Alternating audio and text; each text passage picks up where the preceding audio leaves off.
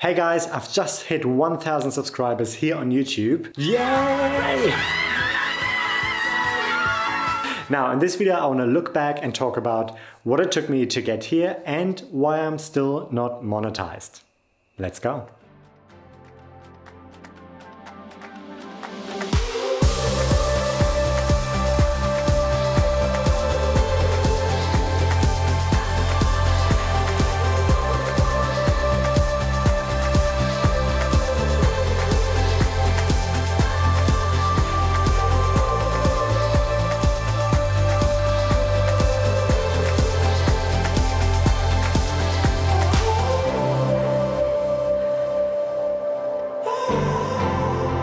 First of all, if you are one of those 1000 people who have been following my journey here on YouTube, thank you so much. I really appreciate you being here.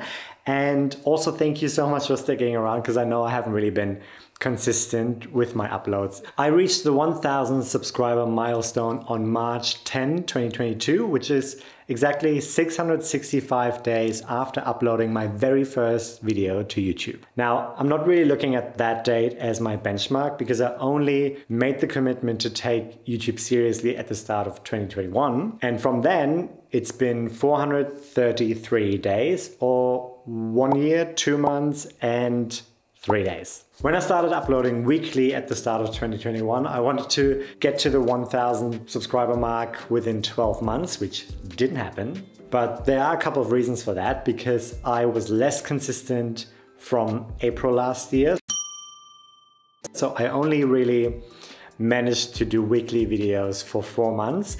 And then I also had a break of, I think, probably five weeks where I didn't upload anything. Since then, I haven't really been able to get back into a weekly schedule, but I have been more consistent. However, I'm kind of tracking well, I think, because what I learned from Ali Abdaal's part-time YouTube Academy, I made a video about that recently, link up here, is that the average channel between 1,000 and 10,000 subscribers has 152 videos on their channel. And when I hit 1,000, I had 63 videos. So not bad. Sometimes it can just feel like such a drag and looking at these numbers helps me keep going. Okay, what have I learned from my YouTube journey so far? Or what would I tell my 2021 self who was at the start of his journey with 35 subscribers? Number one, Consistency is what it's all about.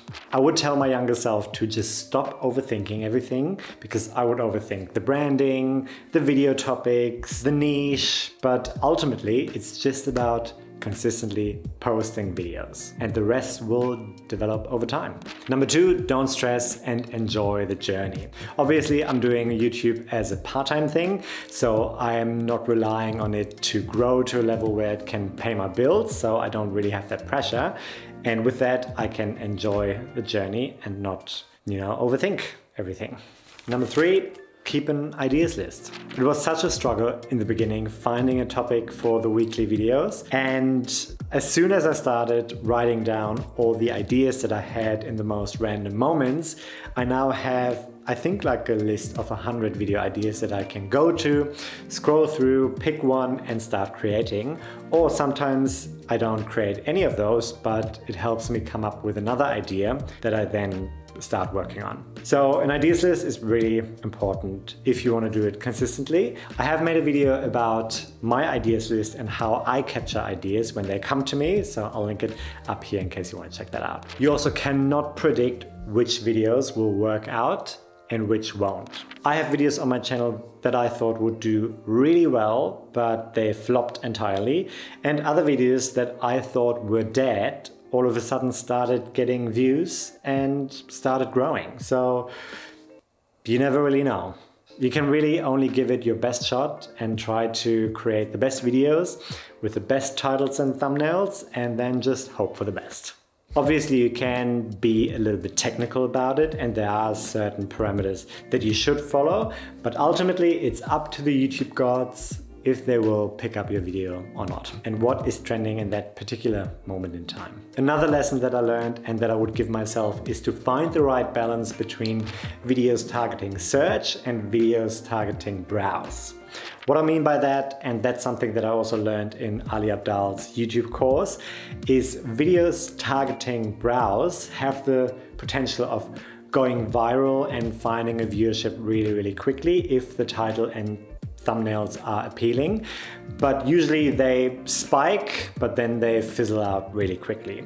Videos targeting search, on the other hand, they might not get a lot of views in the beginning, so they might not be as exciting, but they have often a longer shelf life and they can bring new viewers to your channel for months or even years to come. I have some videos that have only started growing a few months, six months, eight months after I posted them and they now bring in views consistently. So you wanna make sure that you have videos on your channel that have this kind of evergreen content that has a longer shelf life.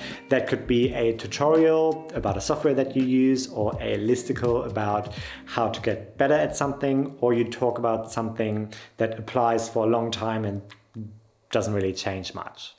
Okay, so why am I not monetized yet? The criteria to get monetized on YouTube and to join the YouTube Partner Program, which allows you to put ads on your videos and get money through AdSense, is 1,000 subscribers, tick, and 4,000 watch hours in the last 12 months. As you know, I do have the 1000 subscribers. However, I don't have the 4000 hours watch time yet. I probably do have 4,000 hours of watch time in total, but not in the last 12 months. And I feel like I'm currently chasing my tail because last year, around this time, I had a video that did really, really well and I got a lot of watch time and I'm losing that every day now. So I'm losing the watch time from a year ago and I'm gaining new watch time, but it's kind of stagnant on the same level at the moment.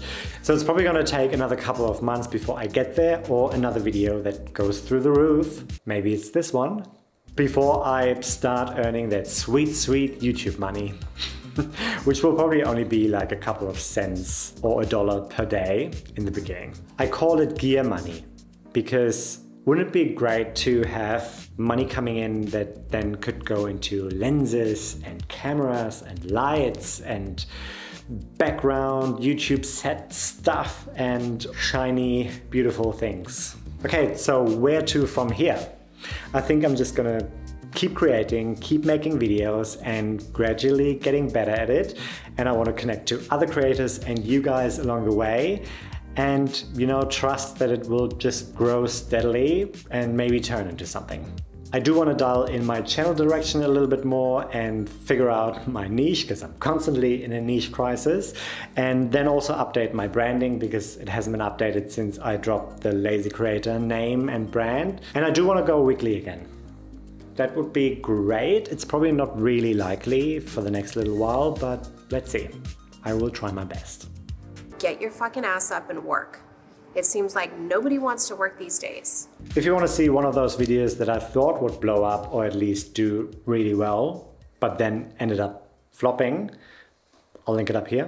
Okay, that's it. 1000. Thanks so much for watching. Give the video a like and subscribe if you want to stick around. I would love that. And I will see you in the next one. Take care.